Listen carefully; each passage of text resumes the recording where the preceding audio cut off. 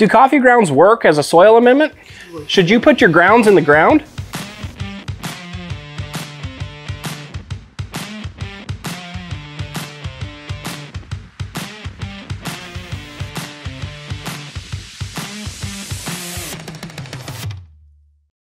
Hi, this is Matt and welcome back to Soil Lab. Today I want to introduce you to our new series, and this is the Does It Work Soil Amendment series. Throughout this series, we're going to look at several different soil amendments and track their nutrient release over time. So some of the amendments we're going to be starting out with are going to be coffee grounds, eggshells, azomite, kelp, and green sand. We'll also be adding extra treatments as you request them through time. So Follow along over the next couple of weeks and I'll look forward to showing you what nutrients can come from these products in your garden. In today's segment of Does It Work, we're going to be looking at the use of coffee grounds as an addition to our raised gardens. So what we did is we just took our coffee grounds straight from the filter, laid these out on a cookie tray, and let them air dry for a day or two. Once they were air dry, we just took them in the bag and brought them back down here to the lab. We're gonna use one level scoop of these coffee grounds and apply it to uh, one of our, our simulated raised beds. The other, that's gonna be an untreated control that we're going to track through time as well. One level scoop is equivalent to about 4% of the volume of this raised bed. Now, if you're Googling around and trying to find recommended rates for coffee ground applications, you're gonna see that they're kind of all over the board. So we just chose a volumetric rate um, that we thought would be reasonable and typical uh, for a raised bed. So I'm gonna go ahead and apply this to the soil surface now.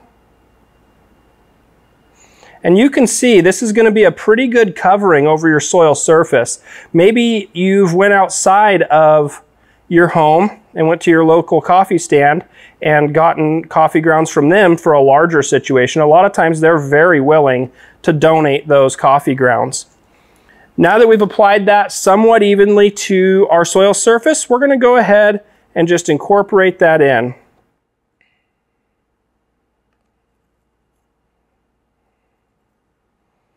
As we do this, we're going to make several passes just as if we were in our garden.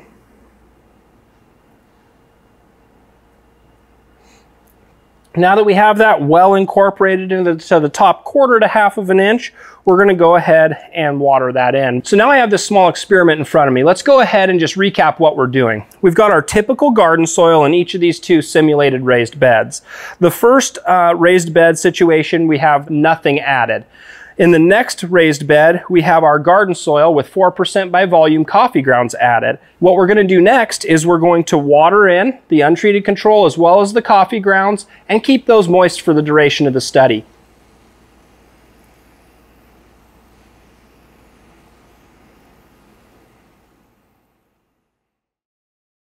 All right, so the results are in for our Does It Work Soil Amendment Series video. So let's go ahead and pull up our My Soil dashboard here, and we're gonna go ahead and compare that untreated soil to our coffee grounds added soil. So I'm just gonna go ahead and select that untreated soil, as well as that soil that had the coffee grounds added, and we're just gonna simply compare those selected samples.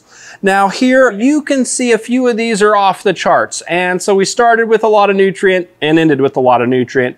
One of the first differences that I'd like to point out is in nitrogen. And as all of us know, nitrogen often is king. When we add these coffee grounds, we think of that as almost an organic fertilizer because really the carbon to nitrogen ratio that's estimated at about 20 to 1 tells us that it should be giving us some nitrogen. But when we look here, we see actually that almost the opposite is true we see our nitrogen reduce pretty significantly after those coffee grounds were added. So let's remind ourselves what did we do? We had an untreated control. We did nothing to that. We just kept it moist and warm. The other, we added coffee grounds, also kept it similarly moist and warm. And then after two weeks of sitting, we pulled the soil samples and now we're looking at those results. So why did we see a reduction in nitrogen when we actually added coffee grounds? Well, we have to think about how that organic nitrogen becomes available. We have to rely on our soil microorganisms to break those compounds down and then yield nitrogen.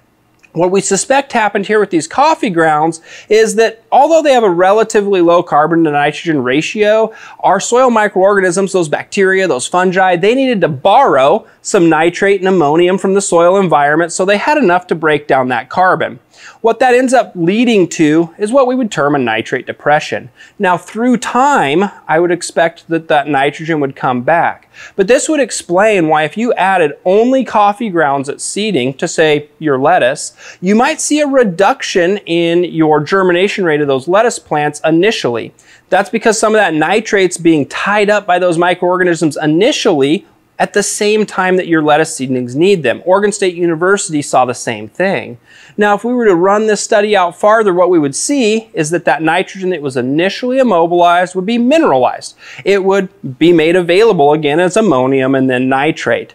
So what does that tell me from a gardening perspective? I probably don't want to add just coffee grounds right at seeding. If I'm adding those coffee grounds, knowing that it's going to lead to that initial nitrate depression, I just need to supplement with a readily available nitrogen source, and that could be inorganic or otherwise, just to supplement at that point in time before that mineralization occurs later during your growing season. Now here, just going back to our sample comparison, we see that our phosphorus, potassium, and sulfur, those are literally off the chart right now. So we'll look at that data here in a moment. But I do think it's worth noting that we did see increases, albeit small, in our available calcium from those coffee grounds, our available magnesium, and a pretty significant increase in several of our micronutrients, including iron, manganese, and zinc. Now, maybe you've heard that coffee grounds are pretty acidic. We observed the soil pH to see if that was true for us too. Now you can see here that pH was slightly reduced, but really not that significantly so. When we look at the data, we'll see it was about 0.05. Now, we've heard coffee grounds are acidic, but there's a lot of studies, this one included, that really shows us that our coffee ground pH comes in at near neutral numbers, so right around 7. So now that we see that a lot of these nutrients are already high, let's go ahead and dive into the data and we'll see just how much they were shifted numerically. So here, what I'm looking at on the left is the data for our untreated soil, and on the right, it's our Coffee Grounds Plus soil. These are the same soil test reports that I selected earlier on the My Soil dashboard and compared. So here on the left, you can see uh, that difference that I noted on pH first. In our untreated soil, that pH was just about 6.7, which is really near optimal from a nutrient availability standpoint. We did see an ever so slight reduction when we added the coffee grounds. Like I mentioned, it was about 0.05 uh, difference at 6.66. Still in that sweet spot, still that optimal pH uh, for nutrient availability and for the production of most of our garden plants. Earlier, when we were looking at our comparison chart, it just looked at nitrogen. But I really think it's important that we point out which form of nitrogen. Maybe you recall that I mentioned a nitrate depression period. Let's just see how that nitrate, that anionic or negatively charged available form of nitrogen changed. So we see here in our untreated soil that our nitrate nitrogen was just over 63 parts per million. Now that's the form of nitrogen that not only our plants prefer to absorb, but also that our bacteria and fungi and other soil organisms prefer to consume. So when we look at the coffee ground added nitrate nitrogen, it's at 18 parts per million. So we saw a significant reduction in the nitrate form of nitrogen, but as you'll see, we're just about 2.8 and 2.4 on our ammoniacal forms of nitrogen. So it was relatively stable between the two. With our three primary macronutrients, nitrogen, phosphorus, and potassium, we've already really discussed nitrogen. We saw that pretty significant reduction, especially in that nitrate form. Well, how did it change for phosphorus and potassium? So you can see that with the phosphorus, we saw an ever so slight increase of about 5 parts per million, but an increase nonetheless. Potassium, we saw an increase also of about 10 parts per million from 422 to 432. Now, I think it's notable that we did see increases in phosphorus and potassium, whereas we didn't with nitrogen. But in this garden soil, those, those nutrients would not have become limiting factors. Although we saw it on the comparison chart in a graphical format, we may as well look at the numbers since we're in a lab. We'll see that the calcium also numerically increased by, oh, about 30 parts per million. So a pretty significant increase in that calcium from the addition of our coffee grounds. We also saw increases in magnesium of about 10 parts per million as well. So after adding the coffee grounds, we saw pretty significant increases uh, in calcium and magnesium, and I would say slight increases in phosphorus and potassium. As I look at our micronutrients, there's one in particular that jumps out at me, and that's because it was low. So in our untreated soil, our iron levels were low or suboptimal. You can see that the target range we're looking for here is between 3 and 10 parts per million, and we were sitting at about 2.4. So clearly the hope is that these soil amendments would supply that iron. And in this case, the case of adding coffee grounds, they certainly did and brought that actually above our optimal range to about 12 and a half with the upper end of that optimal range being 10. So what does this all tell me? This tells me that if I'm going to add coffee grounds directly to my garden, I want to be sure to supplement with an available form of nitrogen to avoid that nitrate depression. But I also need to know that it's going to give me a little phosphorus, a little potassium, but I think most importantly, it could give us a really good bump in iron, which isn't always in an available form. Iron is prolific in the soil environment, but it's often tied up or bound up by other elements. It appears that coffee grounds on their own can significantly increase our available iron levels within a two week window at or near seeding. So at the end of the day, the question ultimately is, does it work? So do coffee grounds work? What do you think? I'd love to see it in the comments below.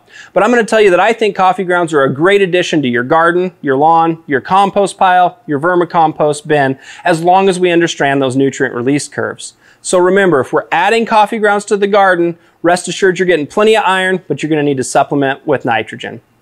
Now follow along as we go and look at these other comparisons between that same untreated soil and these other soil amendments. So like you see here, we're going to be looking at the azomite additions. We're going to be looking at green sand additions.